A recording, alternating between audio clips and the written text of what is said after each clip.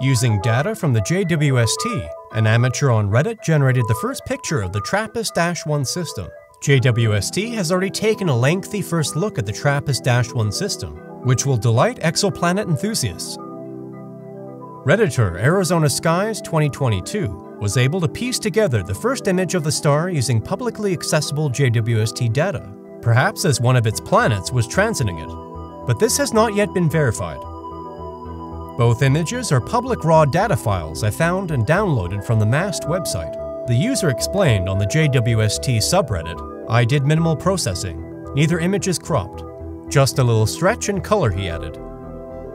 TRAPPIST-1 fascinates scientists for a variety of reasons, not least of which is that it contains seven roughly Earth-sized planets circling it, three of which are in the habitable zone. The ultra-cool red dwarf is only 40 light-years away, making it even easier to investigate and it may even contain vast quantities of water.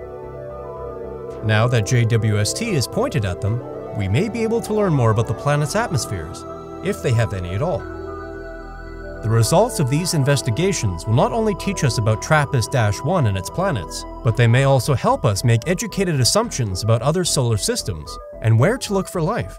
For example, if we discover that stony planet closer to the star were empty of atmosphere, maybe due to solar flares from their host stars, we might narrow down which positions in solar systems are most likely to house life. This system provides an opportunity to test the concept of the habitable zone outside of our own solar system. More data and images from teams examining the system are expected soon. Until then, this is our best look at an incredible system and one of our greatest possibilities for discovering life.